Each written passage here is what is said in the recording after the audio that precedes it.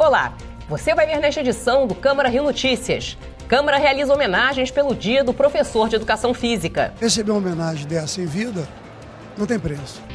A gente começa esta edição do Câmara Rio Notícias falando da homenagem da Câmara do Rio aos profissionais de educação física. A maior comenda da casa foi entregue ao presidente do Conselho Regional de Educação Física. Outros profissionais foram agraciados com moções.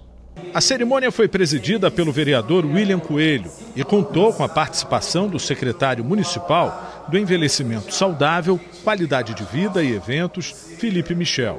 A solenidade em homenagem ao Dia do Profissional de Educação Física reuniu representantes do setor que contribuíram para o desenvolvimento da atividade. Entre os homenageados que receberam moções, Antônio Carlos da Silva Melo, profissional de educação física e preparador físico do Vasco.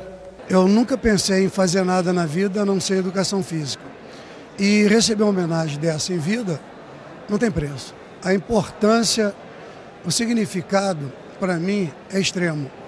Eu acho que, dentre algumas homenagens que eu recebi na vida, essa foi a mais importante. O Dia do Profissional de Educação Física é comemorado em 1 de setembro.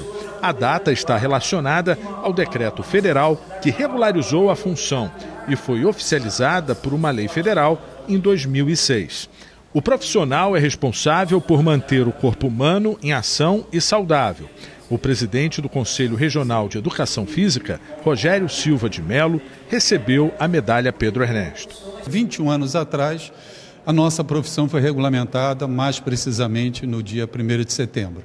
E nós aproveitamos essa data, esse mês, para comemorar, junto aos profissionais, a mudança uma mudança radical que houve na profissão, que a partir do momento que ela foi regulamentada, nós passamos a ser respeitado com uma profissão.